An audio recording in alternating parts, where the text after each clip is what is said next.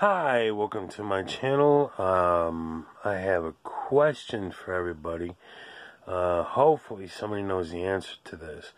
Um, in the universe of the multiple Karate Kid films and the Cobra Kai series, I what's the story on head kicks? Can you a kick somebody in the head and b what are the points on that? So, like in the very first film, um, Johnny Lawrence gets a warning for a head kick, an illegal head kick, but then that's what Daniel LaRusso wins the fight with is a kick to his face.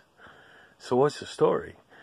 And I was just watching a clip of Cobra Kai. I have no follow. I don't watch. I'm just bopping around on the on the YouTubes there, and um, the Miguel guy or somebody kicks a kid in the face, and I'm like, is that?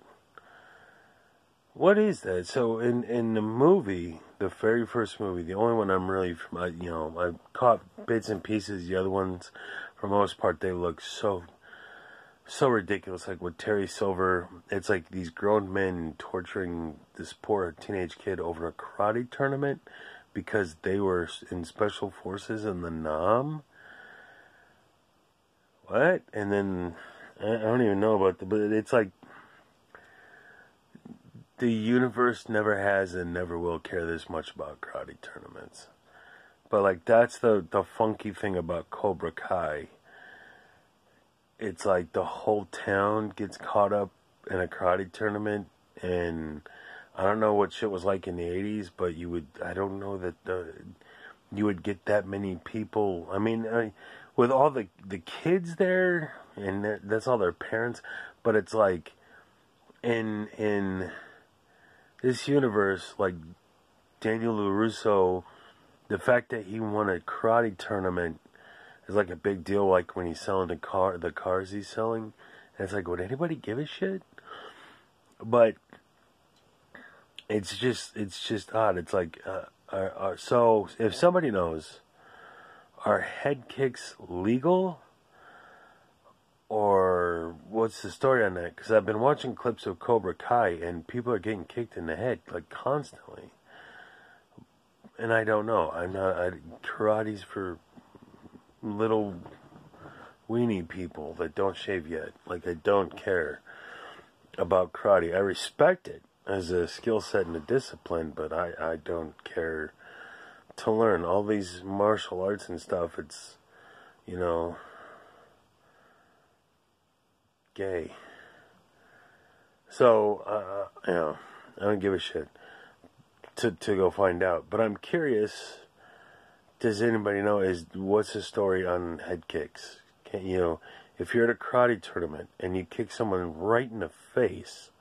Like I've watched, you know, I've been clicking around all day and I've seen like six or eight examples on Cobra Kai of in the tournament people getting kicked in the face and getting points for it. And I'm like, pretty sure it's not right, but I don't know.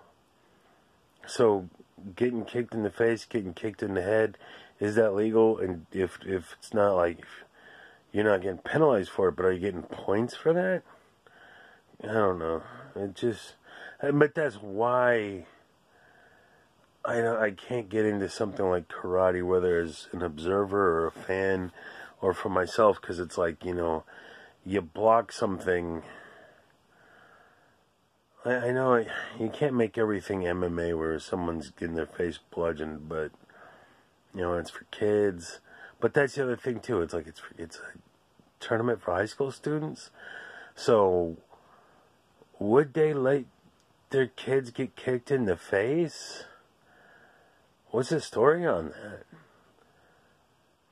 So if somebody knows, let me know. What's the deal at karate tournaments and stuff on getting kicked in the face, getting kicked in the head in general? And I would, I'd be curious to know. Uh, and then I'll do a review, a more in-depth review on the Karate Kid movies and Cobra Kai and stuff.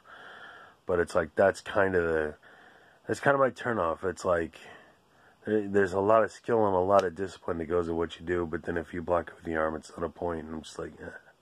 all right, well, out here. Cheers.